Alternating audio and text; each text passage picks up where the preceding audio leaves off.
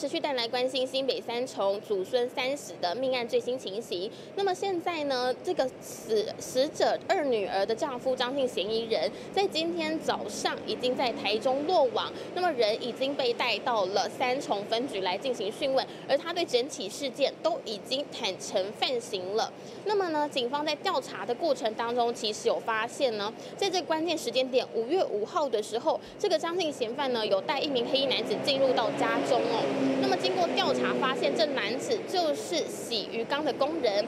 他向警方供称，当时进到屋内的时候，其实有闻到异味。不过呢，他因为发现了整缸鱼都已经死亡了，所以怀疑这个异味是从鱼缸里面散发出来的，所以他没有多想。清理完就结束，回到店里也都没有跟其他的同仁同事说些什么。直到警方来调查整起案件，告诉他事情，他才知道原来当时屋内已经有人死亡。那这件事情呢，也让他非常震惊。目前向老板来提出离职，不过现在人离职还没有确定，还在休息，目前是没有上班的状况。而警方也排除他涉案的可能哦。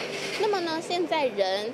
嫌犯张姓嫌犯已经在三重派出所来进行讯问，那么整起案件也越来越明朗了。